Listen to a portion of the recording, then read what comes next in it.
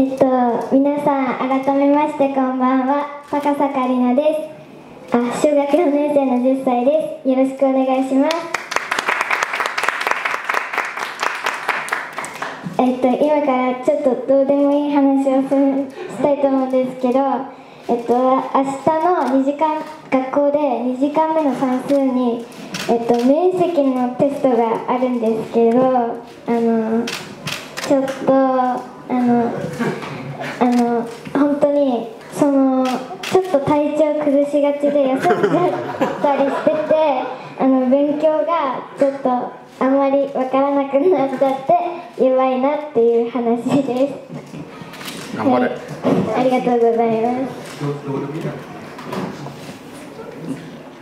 では、えっと、ラブ涙色です。聞いてください。